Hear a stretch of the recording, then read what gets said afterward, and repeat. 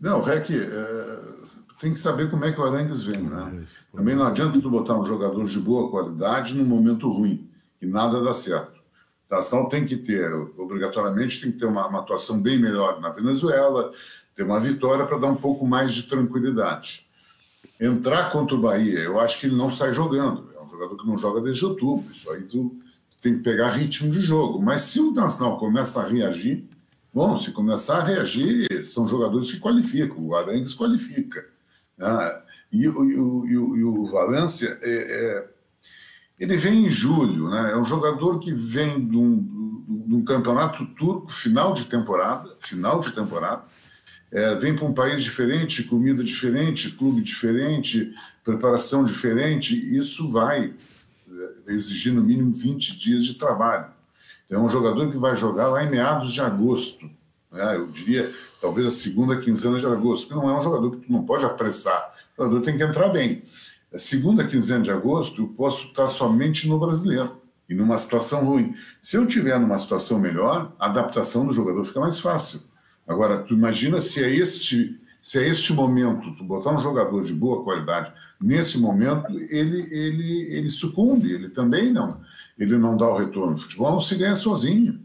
É, o Internacional no todo tem que crescer, o Internacional no todo tem que, insisto muito, crescer fisicamente. O Internacional tem que ser uma equipe competitiva, porque é uma equipe média, ela tem que ter a intensidade que o Grêmio teve. Ah, se o Grêmio vai ter em todos os jogos, bom, mas nos jogos importantes ela tem que ter uma intensidade. Ela conseguiu ter uma intensidade contra o Flamengo no primeiro tempo, ela conseguiu ter uma intensidade no primeiro tempo contra o Nacional, ela não consegue ter a mesma intensidade ao longo do jogo. E ontem até ele iniciou bem a partida, deu azar de tomar o gol no início. Aí muda tudo, né? É um time que está com três zagueiros, é, sai ganhando o jogo, é tudo o que precisa. O outro vai ter que se jogar para cima, vai ter que se abrir, enfim, aí tem as teve as dificuldades que encontrou, mas o Internacional, eh, eu diria, os primeiros 20, 25 minutos do jogo de ontem, fez uma boa partida. Estava perdendo, estava perdendo. Ele morre quando toma o segundo. E, morre quando também começa a não ter a condição física. Isso tu não vai, eu repito, mas tu não vai recuperar isso em 10 dias.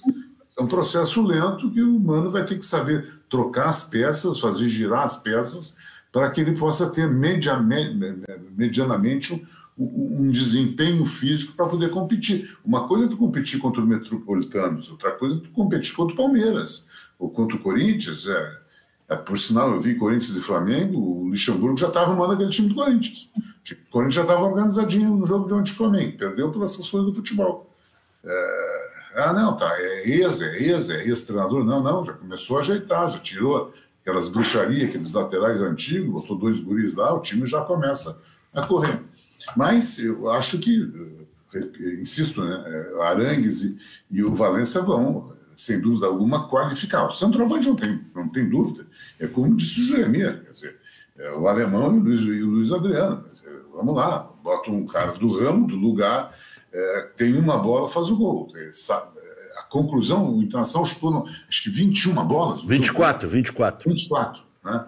É, mas, pô, a, Quantas vão na, no gol? Quantas são efetivamente situação de gol? O Internacional teve uma meia dúzia, acho que sete escanteios. Até fez um gol de escanteio. Né? Sete. É, sete, mas não aproveita. Ontem deu no, no, no gol do, do Johnny. Quer dizer, tu tem números favoráveis, mas as tuas conclusões não são boas. Não, o Internacional não tem aquele finalizador. Que, quando cai dentro da área, é, é, caixa, quer dizer, o centroavante que faz o gol, como o Luizito Soares, o, enfim, o centroavante de outras equipes. Gastão tem essa dificuldade. A conclusão, a última bola do Inter é muito ruim. É, o Inter teve quatro conclusões a gol e o Grêmio, que chutou só 14 no total, teve seis em direção ao gol. O Internacional teve um sexto de conclusões é, em direção ao gol. O Internacional, ano passado, chegou ao vice-campeonato porque jogou a maioria das partidas no limite. Né? No limite. E se não fizerem isso de novo, como o Zago estava falando, eu acho que ele está esquecendo, eu acho que o jogador mais importante que o Arangues... Gabriel. É o Gabriel. É, eu ia falar do Gabriel. O Gabriel é que o Gabriel não dá para precisar. O Gabriel vai ser início de junho. Vai ser agora. Porque o Arangues... Vocês que são velhos, vocês que são velhos de futebol, qual é o jogador que operou cruzado que voltou bem, que voltou na mesma condição? É difícil. Não, é que tu é o mais velho de todos aqui na roda. É, eu estou fora. Hoje, não, no futebol. Hoje, futebol. A, hoje a medicina avançou muito. Né? Não, não, não. Pode ver recentemente. Aquele que opera acusado, não é que não volta, volta a jogar mas não com a mesma intensidade que jogava é, antes. Volta com medo de mas, dividir. Então, dentro, dentro, dessa premissa, o Arangues que tem esse problema é, da panturrilha. crônico, da panturrilha não, não, mas Sérgio, o Sérgio, é. cruzado é outra coisa. Sérgio, mas, cruzado, sim, tudo perde. bem, mas uma, um problema crônico aqui também, olha... Sérgio, é... cruzado tu perde a força e tu perde a velocidade. O Gabriel é um belo jogador pela força que tem, pela força. Isso tu vai perder. Ele vai recuperar isso para 24.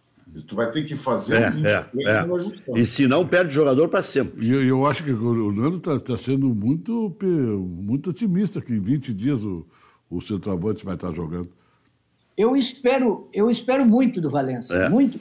Porque lá por setembro, outubro. Na setembro. Copa do Mundo ele jogou muito. É, e do Arangues, eu tenho aquela lembrança do Arangues bom jogador, é um jogador elegante, com boa técnica precisa muito saber o que, que ele ainda tem daquele futebol. O Luiz Adriano também gente... tinha mesmo pensamento. Gente, esses jogadores que voltam, a gente lembra do passado. Exato. Esse é o, o problema.